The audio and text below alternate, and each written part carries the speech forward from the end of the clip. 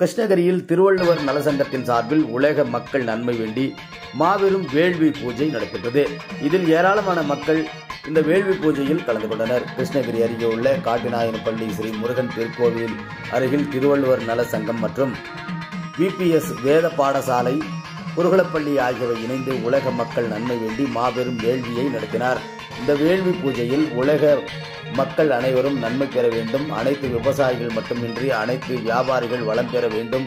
தேவையான மழை பெய்து மக்கள் மகிழ்ச்சியுடன் வாழ வேண்டும் என்பது உள்ளிட்ட பல்வேறு நன்மைகள் நிறைவேற்ற வேண்டி நவகிரக ஹோமம் லட்சுமி ஹோமம் குபேர ஹோமம் நவசண்டி யாகம் ஆகியவை நடத்தப்பட்டது. மேலும் இந்த வேள்வி பூஜையில் கலந்து கொண்ட மக்கள் அனைவரும் தனித்தனியாக சங்கல்பமும் கிரக சாந்தியும் செய்து வைக்கப்பட்டனர். முன்னதாக திருக்குறளை பாடலாக பாடியபடி திருவள்ளுவர் படத்திற்கு மாலை அணிவித்து பூஜை செய்து வழிபட்டனர். இந்த நிகழ்ச்சியில் திருவள்ளுவர் நலசங்கத்தின் நிர்வாகிகள் உறுப்பினர்கள் அவர்களது குடும்பத்தினர்கள் மட்டுமின்றி மாவட்டத்தில் பல்வேறு பகுதிகளில் இருந்து இந்த வேத பண்டிதர்கள் கலந்து கொண்டனர். பின்னர் வேள்வி பூஜையில் கலந்து கொண்ட அனைவருக்கும் அன்னதானமும் வழங்கப்பட்டது என்பது குறிப்பிடத்தக்கது.